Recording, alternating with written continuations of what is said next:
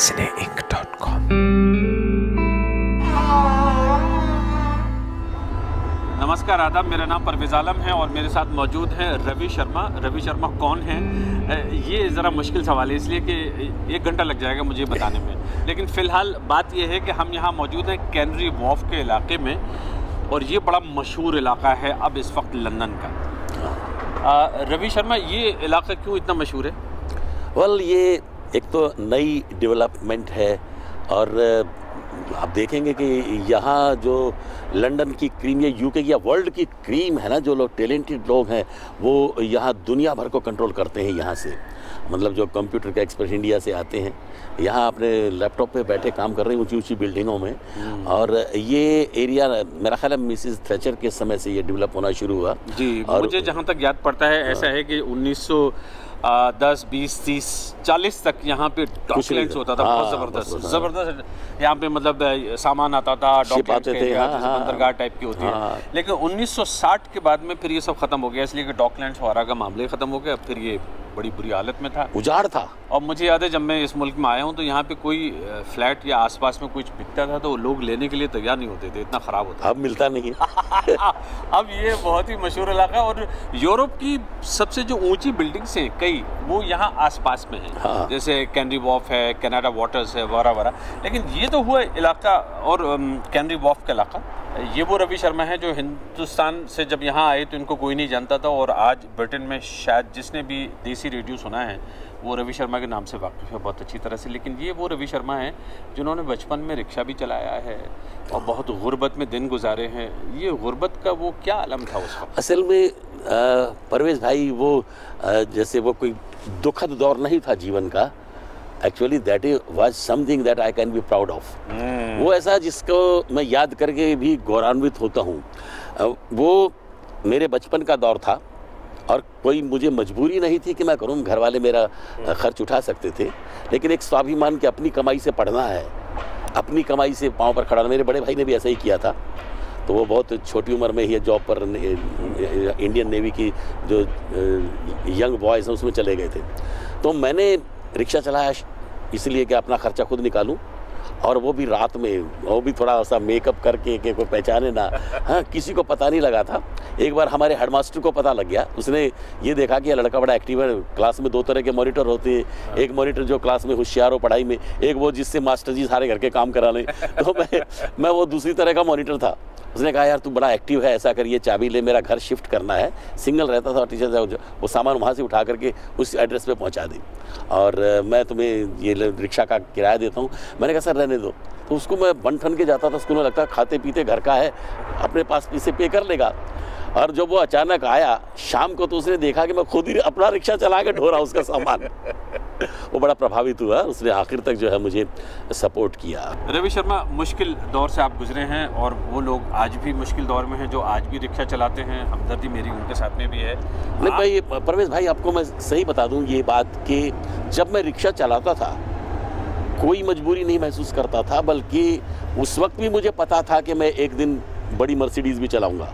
I don't know why एक विश्वास था कि मैं रिक्शा चला रहा हूँ अपनी फ़ीस जुटाने के लिए और ये एक ऐसा काम है जैसे कोई व्यक्ति तप कर रहा हो और जानता हो कि इस तप का फल जो है वो बहुत बड़ा होगा तुम्हारे लिए। अच्छा फिर आप कहीं गुरुकुल वगैरह में भी पढ़े हैं क्या? मैं गुरुजी के आश्रम में रहता था।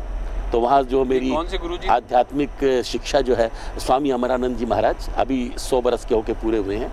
तो उनका हमारे शहर में आश्रम था। तो शिक्षा आपकी प्रॉपर ऐसी नहीं हुई? नहीं प्रॉपर हुई है पर आश्रम में रहते हुए वहाँ से स्कूल जाता था कॉलेज जाता था यूनिवर्सिटी वहीं से जाता था यूनिवर्सिटी तक। और रेडियो में फिर आप कैसे पहुँचे? वो रोहतक में जहाँ से मैं हूँ आकाशवाणी का केंद्र खुला और वो था भी हमारे आश्रम के बहुत नज़दीक। और उससे पहले मैं स्कूल लेवल पर छोटे मोटे कॉम्पिटिशन्स में पार्टिसिपेट करता था। पार्टिसिपेट शौक भी था और ज़रूरत भी थी कि कैश प्राइजेज मिलते थे परवेज भाई। फ़र्स्ट प्राइज़ सौ रुपये का सेकंड प्राइज़ पचहत्तर रुपये का और थर्ड प्राइज़ पचास रुपये का। मैं सौ को टारगेट बना के चलता था बहुत मेहनत करता था कि उसमें क्या होगा कि अगर एक सौ का प्राइज़ आ गया तो मुझे अगले दो हफ़्ते तक रिक्शा नहीं चलाना पड़ेगा। तीन हफ़्ते तक रिक्शा नहीं चलाना पड़ेगा। तो मैं सौ का टारगेट बना के चलता था, पचास तो लेके ही उतरता था। ये बड़ी ईमानदारी की बात है कि प्राइस सिर्फ़ पैसे लेने के लिए रवि शर्मा। मेहनत करता था। मेहनत करते थे। आपने रोहतक में काम किया रेडियो में? जी आकाशवाणी और आपकी एक दोस्त हैं हम उन्होंने मेरे साथ में भी काम किया था लोचनी अस्थाना। लोचनी अस्थाना रोहतक में थी हमारे साथ। नौकरी करती थी वहाँ पे हाँ, प्रेजेंटर थी हाँ, announcer हाँ। थी। और उसके बाद में फिर वो दिल्ली आ गई थी। खैर और उसके बाद में फिर आप आते हैं लंदन और लंदन जब आप आते हैं ये 1980s के आखिर की बात है। मैं यहाँ लंदन में आ गया था बीबीसी का प्रोड्यूसर हो गया था। और मुझे याद है आपने फिर मुझसे भी संपर्क किया। जी। और रेडियो के प्रोग्राम आपने हमारे बीबीसी के साथ में किए। हाँ मैं अ, पहले आ, आप आए थे तो मेरा ख्याल है कि अ, अपनी अच- अचला जी से और उनसे वो थी ना मिसिज कॉल रजनी कॉल? रजनी कौल जी के साथ कुछ समय काम किया। फिर सडनली वो रिटायर हो रही थी आपने टेक ओवर किया। फिर आपके साथ काम करने का बड़ा मज़ा आया। असल में परवेज़ भाई बीबीसी से बहुत सीखा है। मतलब मैं आज भी अपने जो बुधवार जी हैं कैलाश जी उनको मैं आचार्य जी कह के बुलाता हूँ और बहुत स्नेह देते हैं वो मुझे। बहुत सीखा है आप लोगों से। और फिर उसके बाद आप सनराइज रेडियो में जाते हैं। हाँ जैसे ही उनको लाइसेंस मिलता है पहले वो पायलट थे आपको मालूम है कि पायरेट रेडियो स्टेशन गैर चलाते कानूनी थे। अवतार लेट। हाँ तो उसमें भी मैंने उनको हेल्प की सहयोग दिया। पर वो उसमें थोड़ा सा संकोच रहता था कि भाई इसको कानूनी मान्यता मिले तो आप खुल के कर सकते हैं। किस वक्त पकड़े जाएँ। हाँ वो आते थे और बर्तन भांडे उठा ले जाते थे। अच्छा। उसके बाद नए खरीद के तैयार रखते थे वो। और यानी विद इन जो है मेरा ख्याल है कि फ्यू आवर्स वो जैसे लेके गए स्टेशन को ज़्यादा देर ऑफ़ नहीं रहने देते। थे नया स्टेशन शुरू हो जाता था। अब वो उनको किसी भी प्रॉपर्टी में जाने के लिए कोर्ट ऑर्डर चाहिए फॉर्मेलिटीज़ पूरी करके वो लोग आते थे। आज ये वो जमाना है मुझे अच्छी तरह से याद है जब पायरेट रेडियो स्टेशन यही नहीं और भी कई चलते बहुत सारे चलते थे उन दिनों। इसलिए कि जो प्राइवेटाइजेशन है रेडियो का हाँ। वो थोड़ा मुश्किल था और हालाँकि प्राइवेट रेडियो स्टेशन इस मुल्क में थे तब भी लेकिन बहुत सारे रेडियो स्टेशन अफोर्ड नहीं कर सकते थे। नहीं वो उनको ये रियलाइज़ कराना पड़ता था कि there is a need for this radio what happened actually that pirate radio station was so popular believe me कि जो पुलिस है वो हमारी मदद लेती थी क्राइम को हल करने में। कि आप रेडियो पर ये बात कहिए? काउंसिल हमारी मदद लेती थी हॉस्पिटल्स और दूसरी agency the government agencies use to take help from us to sort out their problems. And then they wrote to the radio authority that this radio station is very effective. वो क्या वजह है जिसकी वजह से ये मकबूलियत आपकी हुई? कई बातें थी उस समय। एक तो यहाँ ज़्यादा रेडियो नहीं थे।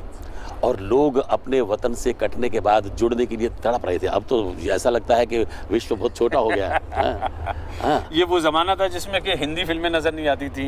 टीवी कोई ऐसे नहीं होते थे जो देसी टीवी सैटेलाइट टीवी इंडिया में चलते हैं वो कोई नहीं आता था यहाँ पे। हाँ और बीबीसी मेरा ख्याल एक आध घंटे का कोई हिंदी प्रोग्राम करता था। तो उस पर सब लोग सुनते थे उस ज़माने में लोग अपनी भाषा हिंदी उर्दू सुनने के लिए तरस जाते थे हाँ बिल्कुल बिल्कुल। और वहाँ रवि शर्मा ने आके फिल अप द ब्लैंक्स खाली जगह में और रिक्त स्थानों की एकदम बहुत पॉपुलरिटी मिली।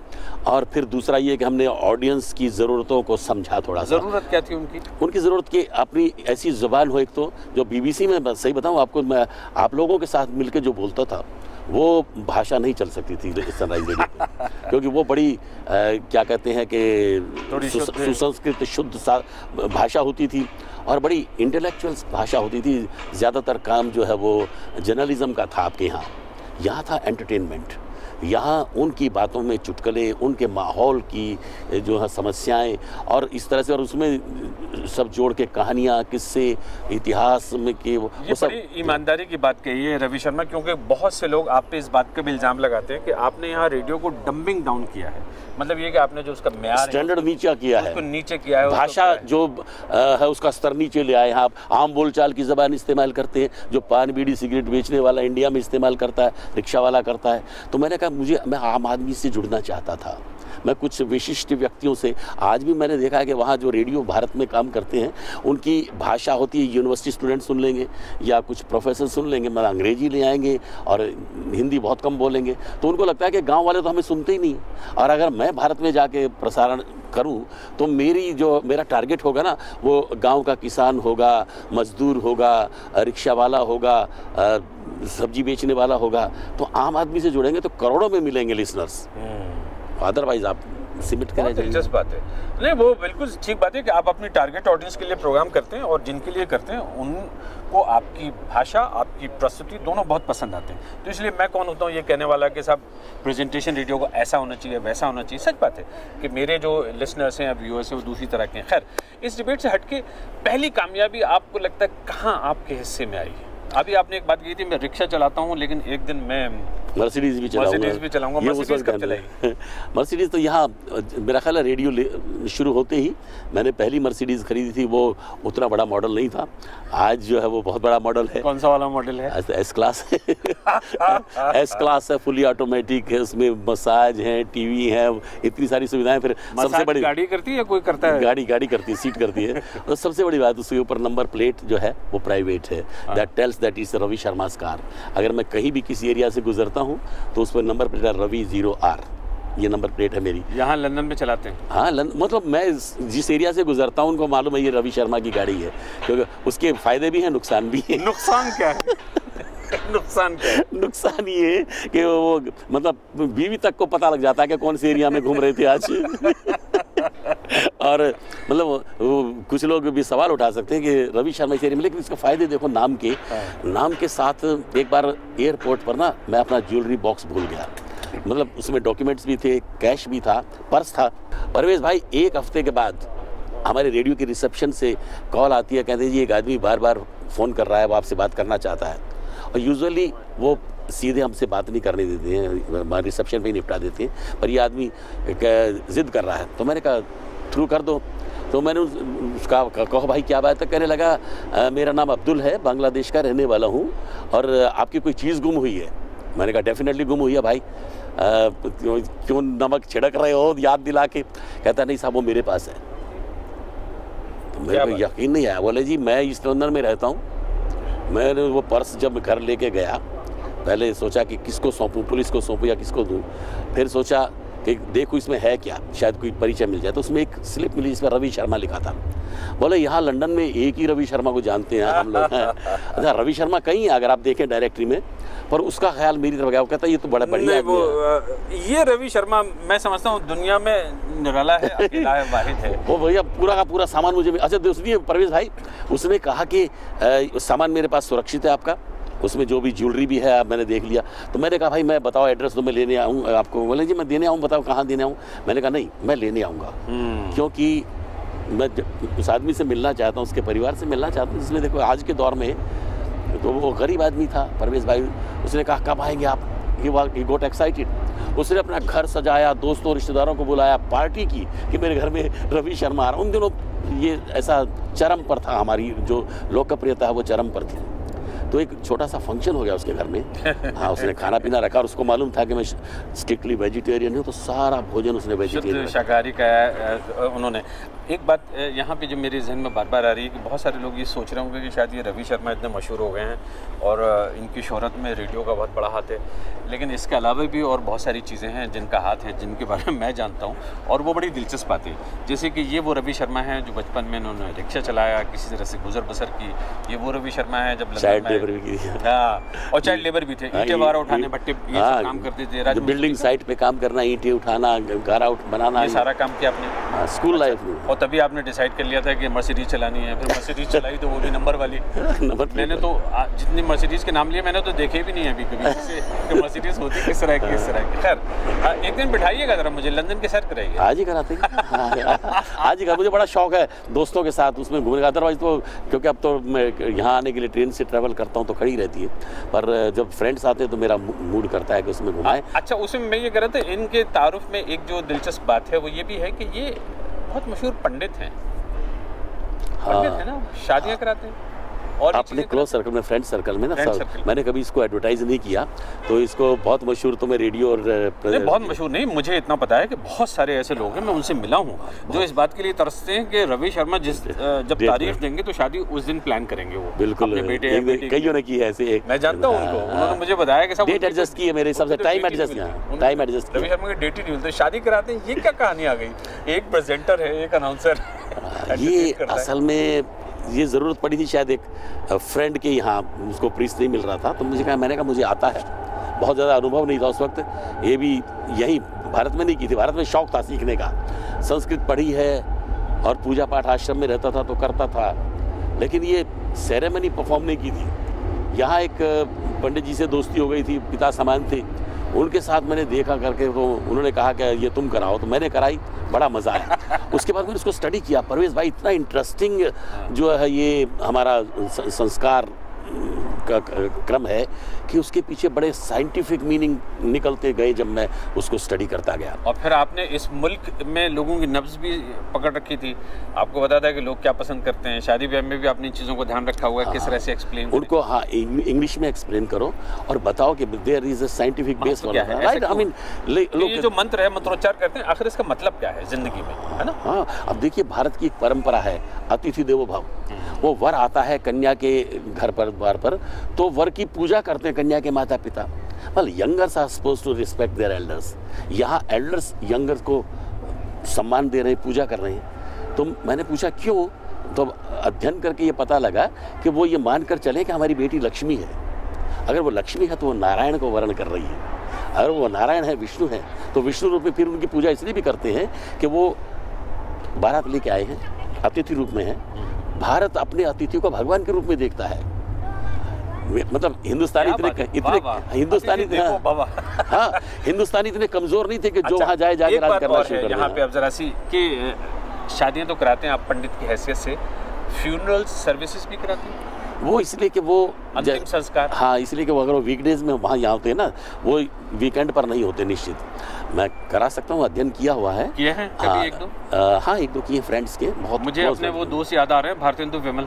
हाँ। वो भी कुछ आप ही की तरह हैं। हाँ वो कराते हैं। लेकिन मैं इसलिए नहीं करा पाता कि मैं रेडियो मेरी फुल टाइम ब्रॉडकास्टर रहे हैं वो भी और ये भी चीज़ें करते हैं। हाँ, वो करते हैं। गुरुकुल के पढ़े हुए हैं। हाँ वो गुरुकुल के पढ़े हैं। थोड़ा सा शिक्षा पद्धति में गुरुकुल की पद्धति में वहाँ आर्य समाज ज़्यादा प्रभावी है।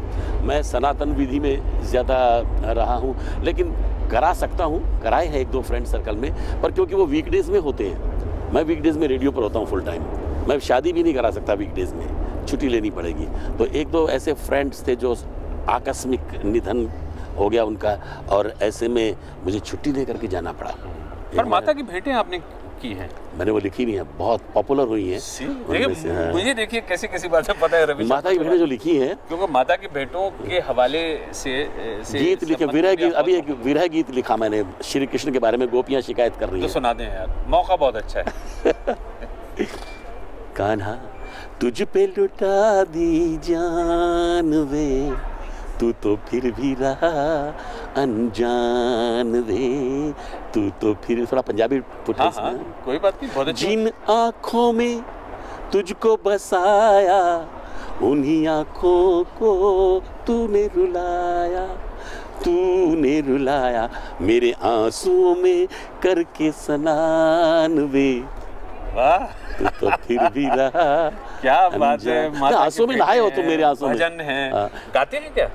मैं हारमोनियम भी बजा लेता हूँ तबला भी बजा लेता हूँ अच्छा ये और ये बाकायदगी से आप जो माता के भेंटें होती हैं जब मौका आता है तो नवरात्रि या उससे हाँ, पहले आगे हाँ। पीछे करते हैं समय हो तो क्योंकि आप देखिए कि जीवन इतना व्यस्त है रे, रेडियो स्टेज शोज़ फिर कभी शादी ब्याह दोस्तों के यहाँ सत्संग भजन कीर्तन समय हो तो फिर मैं ज़रूर गाना मेरा पैशन मेरे घर में हारमोनियम और तबला और ढोलक तीन चीज़ें मेरे मंदिर में रखी हैं। घर में मंदिर है एक कमरा। उसमें नियमित पूजा पाठ होता है परिवार करता है। लेकिन ये जब भी कोई दोस्त मेरा तबला बजाने वाला आ जाए तो मैं हारमोनियम लेके बैठ जाता हूँ। हारमोनियम बजाने वाला आ जाए तो मैं तबला लेके बैठ जाता हूँ क्या बात है। आपका अच्छा हाँ। रवि शर्मा मैं समझता हूँ कि आपसे स्टूडियो में बात होना भी ज़रूरी है इसलिए कि जो आप जो जिस सरजमीन से आप बड़े हुए हैं और जिस माहौल में आपने अपने आप को देखा और अपने आप को विकसित डेवलप किया वो स्टूडियो है रेडियो का। तो अगर आप इजाज़त दें तो अब हम यहाँ से सीधे आप स्टूडियो चल सकते हैं। हाँ हाँ बिल्कुल चलिए सामने स्टूडियो चलते हैं। रवि शर्मा इस वक्त हम आपके ऑफ़िस की बिल्डिंग में हैं। ये थर्ड फ्लोर है? हाँ। और ये बिल्डिंग क्या कहलाती है? लाइका हेडक्वार्टर है लाइका बिल्डिंग है। लाइका जिस कंपनी में आप काम करते हैं जो फ़ोन भी बनाती है और जिनका रेडियो स्टेशन भी है आप।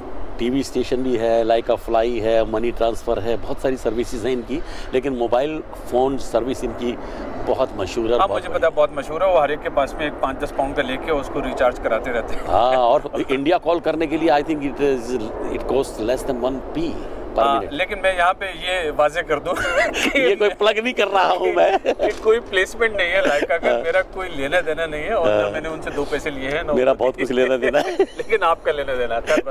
तो इसलिए आपका उनको प्लग इन करना ठीक है। लेकिन ये बड़ी खूबसूरत जगह है जहाँ तक मैं ही देखता हूँ कि ये पीछे जो है ये ये डोम है। हाँ मिलेनियम डोम ये ये मिलेनियम डोम है और ये टोनी ब्लेयर के ज़माने में बना था और टोनी ब्लेयर को खासी परेशानियों का सामना करना पड़ा था और बिलियंस के हिसाब से इसको ऑलमोस्ट पैसा बहुत खर्चा हुआ इस पर बहुत बड़ा इस मेरा ख्याल है दो तीन फुटबॉल स्टेडियम हाँ। समा जाए जिसमें हाँ, इतना हाँ, बड़ा एरिया है और इसकी- और और इसको फिर बाद में एक प्राइवेट कंपनी O2 जो फ़ोन वाली है उन्होंने उन्होंने खरीदा जिसका नाम अब ओटू है इसका।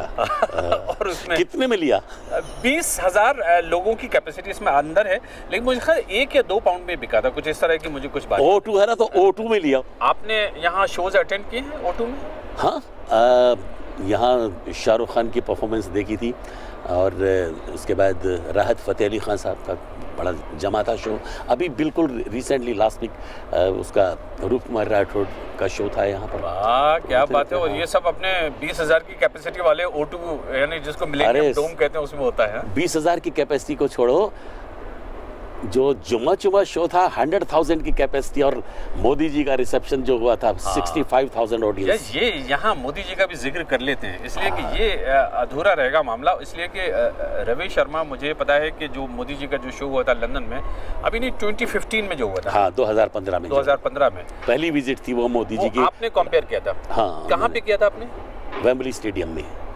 और वहाँ पूरा मज में सबके सामने प्राइम मिनिस्टर मौजूद थे?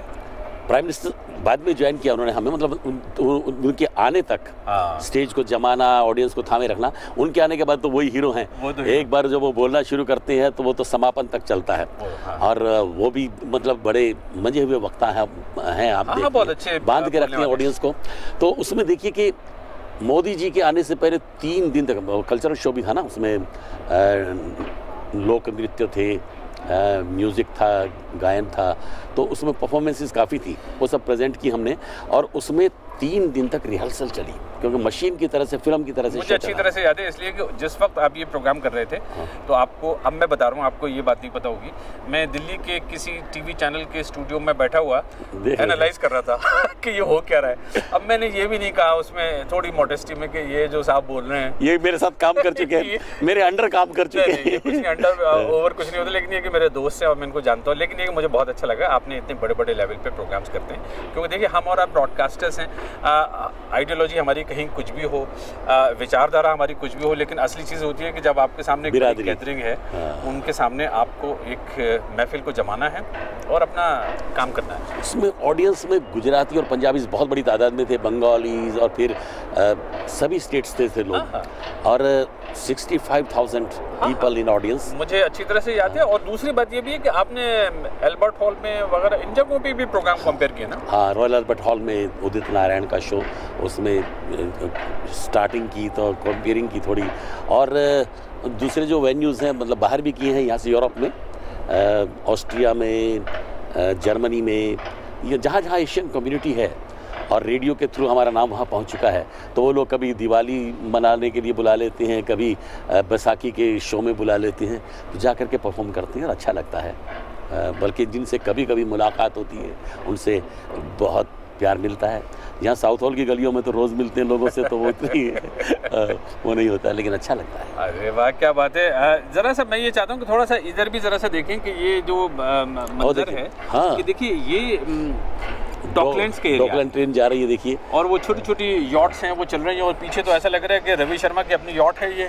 क्या नाम है इसका? लेडी ए हाँ ये छोटा सा शिप है ये। कई दिन से यहाँ यहाँ पार्क है। ये हमारे किसी हो सकता है हमारे चेयरमैन को। मालूम नहीं। लेकिन आप देखें कि ये यही पार्क है कई दिन से। और इट्स ब्यूटीफुल अरे ज़बरदस्त मंजर है। luxury है। रवि शर्मा हरियाणा के रहने वाले। और कहाँ रोहतक? रोहतक में आपने अपना काम शुरू किया। और वो रिक्शा वगैरह कहाँ चलाते थे रोहतक में। अच्छा रोहतक में रोहतक में और वो भी आठवीं क्लास तक जब मैं पढ़ता था तब तक चलाई। उसके बाद मुझे स्कॉलरशिप मिलना शुरू हो गया कैश प्राइजेज मिलने शुरू हो हाँ गए। तो आपने बताया भी। हाँ, तो बस उसके बाद तो फिर पैसा मैंने देखा कि बातों से भी मैं पैसा कमा सकता हूँ। तो मैं बहुत रात को इतना मेकअप करके और पगड़ी पहन के अपने दोस्त की रिक्शा चलाता हूँ पसीना बहा रहा हूँ नींद गंवा रहा हूँ। तो मैंने कहा कि अच्छी बात थोड़ी लफाजी करूँ आवाज़ लगाऊँ। लोगों को हंसा दूँ थोड़ा सा। उससे भी पैसा मिलता है। तो सब मैंने तो आपसे बात समझी कि आवाज़ लगाने में भी पैसा है। लेकिन ये उसको रवि शर्मा जैसा हुनर आना चाहिए। एक हाँ जीवन में एक स्थिति ऐसी भी आती है जब मेरे ख्याल बड़े बड़े जिन्होंने बहुत पैसा कमाया है उन लोगों को ये अनुभव हुआ हाँ। कि क्या करेंगे इतने पैसे का? हाँ। हाँ वो बहुत फिर एकदम चैरिटी की तरफ़ मुड़े हैं। आप यहाँ देखें जो बड़े बड़े आर्टिस्ट हैं बीटल्स वाले हैं या फिर जो कंप्यूटर के अपने जनक हैं या अमेरिका में वो सब चैरिटी की ओर मुड़ते हैं। वो फिर मानसिक शांति की तलाश करते हैं जो सबसे बड़ा धन है। तो वो ये मेरा ख्याल मोड़ हर किसी की जीवन में मैं समझ सकता आता हूँ। है एक मानसिक शांति पे मुझे कुछ एक दो बातें याद आ रही हैं। आपके बारे में मशहूर हैं मैंने किसी से सुनी थी कि यहाँ जो भी व्यवस्था है मतलब हमारी बड़ी शिकायतें रहती हैं और मैं उनमें पेश पेश रहता हूँ एक जर्नलिस्ट की हैसियत से इस सिस्टम को एक्सपोज करने में। ब्रिटेन को भी बहुत बार कि साहब रेसिज्म किस तरह का है यहाँ पे या किस तरह की जो भी इमिग्रेंट्स के साथ में चीज़ें होती हैं। लेकिन साथ ही साथ कभी कभी हम ये भी भूल जाते हैं कि कुछ चीज़ें बड़ी दिलचस्प और अच्छी भी हैं। और बहुत सारी चीज़ें हैं जो इस मुल्क में अच्छी है। वरना कोई वजह नहीं थी कि आप और हम यहाँ पे हाँ रहते। अपना घर बनाते या रहते। आपके साथ में एक वाक़ हुआ था कि कहीं अ, आपको क्योंकि एक प्रीस्ट एक पुजारी एक पंडित की हैसियत से भी जाना जाता है। और कहीं आपके पास में मुझे किसी ने बताया था कि फ़ोन आया कहीं हॉस्पिटल से वो क्या किस्सा था? वो असल में मेरा ख्याल है कुछ डॉक्टर्स को पता है कि मैं प्रेयर करता हूँ सत्संग या कॉन्ग्रीगेशंस वगैरह ऑर्गेनाइज करता हूँ। तो सेंट मैरीज हॉस्पिटल लंदन से फ़ोन आया कि somebody is dying and he has no relatives और friends around him in London कि उसका अपना कोई नहीं है और उसकी ये इच्छा थी। खामोश होने से पहले वो जैसे कोमा में चला जाता है आदमी वो कुछ बोल नहीं रहा है कुछ कह नहीं रहा है पर उसकी इच्छा थी कि कोई उसके लिए आकर के प्रे करें उसका अपना बन के। तो आप आ जाइए कल। मैंने कहा मैं कल आ जाऊँगा। उनसे एड्रेस ले लिया। तो मैं अगले दिन जाना था पर रात को तीन बजे फिर फ़ोन आया कि अगर आप आ सकते हो तो अभी आइए क्योंकि द मैन इज़ गोइंग। हाँ वो आखिरी सांस लेने वाला है आप जल्दी आइए। तो मैं जल्दी से नहाया और खूब तेज़ गाड़ी चला करके लंदन में उस हॉस्पिटल को ढूंढते हुए सेंट्रल लंदन पहुँचा। तो जहाँ ट्रैफलगर स्क्वेयर है वहाँ बहुत सारी ट्रैफ़िक लाइट्स हैं। बहुत ज़्यादा। बहुत ज़्यादा रोड्स निकलती वहाँ से। So I got confuse and I jump red light लाल बत्ती में ही मैं क्रॉस कर गया। थोड़ी दूर जाने पर ही पुलिस ने मुझे रोक लिया। वो कहीं कैमरे पर देख रहे थे। उन्होंने पूछताछ शुरू की क्यों गाड़ी लेके भाग रहे हो? कोई क्रिमिनल हो क्या? तो एक आदमी मुझसे बात कर रहा है पुलिस वाला दूसरा जो है डीवीएलए से। वो चेक कर रहा है कि गाड़ी ऑथेंटिक है हाँ कन्फर्म कर रहा था। तो बातों बातों में मैंने उन्हें बताया कि मैं वो बोले क्यों इतना इतनी तेज़ क्यों चला रहे थे? मैंने कहा मैं समय पर पहुँचना चाहता हूँ somebody is dying and as a priest I want to pray for him तो उन्होंने सारी बातें जाँच कर ली। यकीन मानिए, प्रवेश भाई, अभी तक जो पुलिस वाले मुझसे एक क्रिमिनल की तरह से पूछताछ कर रहे थे, सच्चाई जानने के बाद they become so humble so polite और उनमें से पुलिस वालों ने कहा कि आपको हॉस्पिटल ढूँढने में दिक्कत होगी। आप हमें फॉलो कीजिए, हम आपको एस्कॉट करेंगे। हाँ हम आपको विश्वास करते हैं। तो वो मुझे हॉस्पिटल लेके गए मेरी गाड़ी प्रॉपरली पार्क करवाई। वहाँ पर वो बोले कि जब तक आप प्रे करके आएँगे हम आपकी गाड़ी को लुक आफ्टर कर देंगे गलत जगह खड़ी थी डबल येलो लाइन पे। मैं अंदर गया उस आदमी के लिए प्रे की उसको समझाया गीता का पाठ किया उसके लिए। और जब वो होश आवास में था? नहीं मैं उसका कैसे मुझे ये भी नहीं पता कि वो सुन रहा है या नहीं सुन पा रहा है। बस वो लेटा हुआ था मैंने सारे काम किए फिर उसको समझाया कि you are going to merge in the supreme power है the body is rotten you have to leave it but you are going to be part of the god तो ये सारी बातें करके जब मैं देखा, चलने लगा, देखा उसका तो उसकी आँखों से यहाँ से आँसू निकल के यूँ जा रहे थे, जो बता रहे थे कि वो अपनी कृतज्ञता, अपनी थैंकफुलनेस शो कर रहा है। मैं अच्छी तरह से उसको बाय बाय कह के वहाँ से निकला हूँ और मेरी गाड़ी में ही डॉक्टर्स का फ़ोन आ गया आधे रास्ते में कि ही गॉन पीसफुली मेरे मन को इतनी संतुष्टि मिली कि मैं उस आदमी को जानता नहीं था, मेरा कोई परिचित नहीं था, पर उसे अपनापन मैं दे सका आखिरी समय में। क्या बात है रवि शर्मा आपकी तो जितनी कहानियाँ मैं सुन रहा हूँ मुझे बहुत मज़ा आ रहा है दिलचस्प है कुछ चीज़ें जो याद धरोहर बन जाती हैं। सीधी सी बात है अच्छी सी बात है। अब मुझे जरा सा अपना स्टूडियो दिखा दीजिए प्लीज़ आइए स्टूडियो में चलते हैं। जी जी तो इससे पहले कि हम स्टूडियो जाएँ अंदर रवि शर्मा मुझे थोड़ा सा बताइए कि ये जो हम देख रहे हैं ये आपका ऑफ़िस है? हाँ इसमें मिला जुला स्टाफ जो सेल्स वाले हैं वो भी इधर बैठते हैं बैठ करके कमर्शियल सेल करते हैं।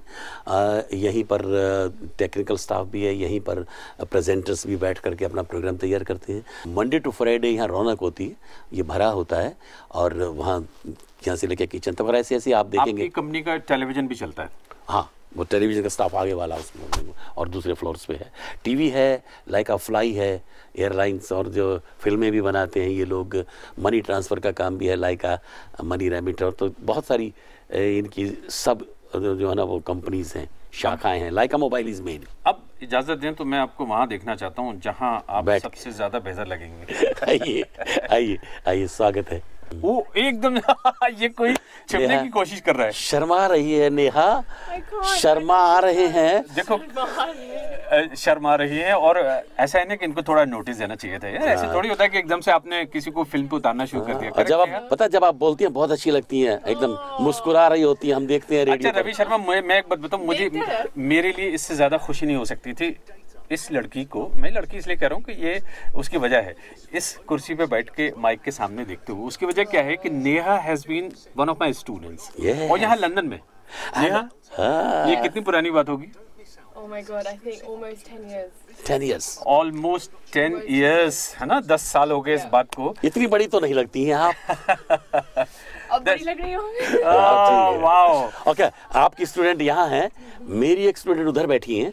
ये कौन है? जरा से इनको मिला थोड़ा सा अगर इसमें शीशे में झरोखे में से देख के अगर आप ले सकें हाँ, उनको हाँ, हाँ, कवर करें तो ये अनीसा नासिर हैं। और इस वक्त देखो कितनी गंभीर मुद्रा में उन्हें पता नहीं है कि उन्हें पिक्चराइज किया जा रहा है। जो ब्रिटेन में रहते हैं उनको पता है कि अनीसा नासिर जो है वो हाउस होल्ड नेम है हाँ उर्दू के लिए बड़ी और शायरी के लिए बड़ी मशहूर हस्ती हैं। और सबसे बड़ी बात यह है कि ये आपकी बहुत आ, क्या कहना चाहिए प्रशंसक हैं फ़ैन हैं परिस्तार हैं। कदरदान और अभी थोड़ी देर पहले जब इनसे मेरी बात हो रही थी तो बार बार ये कह रही थी कि मैंने रवि शर्मा से बहुत सीखा है और वो मेरे गुरु हैं। नेहा भट्ट बहुत बहुत शुक्रिया आपका। All the best. Thank uh, you so much. I should say thank you to you for coming into the studio. Okay. Thank you very much. I should Uh, be talking in Hindi, really. Yes, Hindi Hindi में बात कीजिएगा बहुत अच्छा लगेगा ये लोग देखना चाहते हैं आपको एक बार चलने से पहले बहुत बहुत शुक्रिया आपका हाँ आइए आइए cineinc.com